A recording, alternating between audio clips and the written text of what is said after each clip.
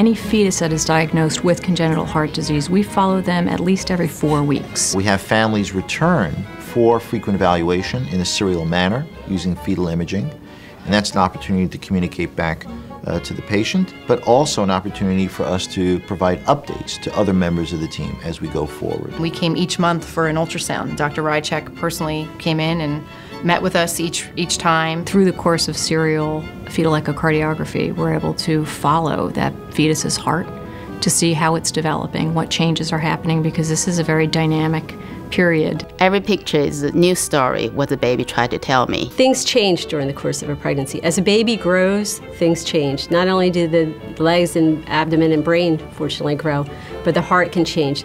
And we want to know as close to delivery what to expect, how this heart is going to function. We want families to have an opportunity to learn as much as they can about the baby's heart and the defect and what the plan for management is going to be. And we find that we're able to build on our discussions every time we see a family. We went from a huge, powerful, you know, diagnosis to um, a plan. Families will meet with the surgeon, they'll meet with intensivists. The families also can tour through the ICU so they have an idea of where the baby's going to come. And if they'd like, they can meet with any of the practitioners who'll be taking care of the baby. So by those last visits, the, those, these families, they really come to know us well. We know them well.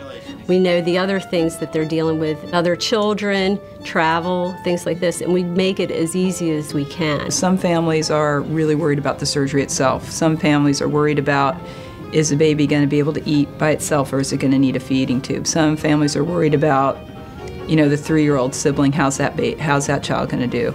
Some families are worried about the logistics of getting back home. So everybody's got you know, different concerns. And we have people to help with all that stuff. We have a social worker that works specifically who's dedicated to the fetal heart program, and she's able to meet with families before delivery of the baby, but she's going to be an important person to them in the ICU, so that's continuity of care. It's important for other siblings to be brought into the circle of knowledge. What are these babies here at the hospital for? And that's where child life specialists come into play. To make them feel important and know how they can help contribute to the baby getting well um, and make sure that they do okay through this entire process with the family. We do provide a lot of support for the mothers who want to provide breast milk. A lot of moms come to us thinking, I'm just not going to be able to breastfeed my baby. That's absolutely not true. Not only are the nurses at the bedside very facile and educated in this, but there's also a whole lactation support system. We have a lactation specialist that's going to work with those mothers, and then that lactation specialist will work with the mother after the baby's born in the ICU. So again, it's that continuity of care. The experience was